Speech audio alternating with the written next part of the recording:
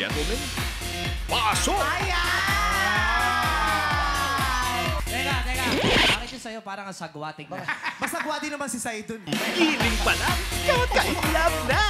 Paano pa kung si John Lloyd ang mangharana? Oo, sabi sa inyo, Arn, Arn. Alam mo, hindi kita kayang shoot kasi mamimiss kita. Baka mapasipa ka sa saya! Ano?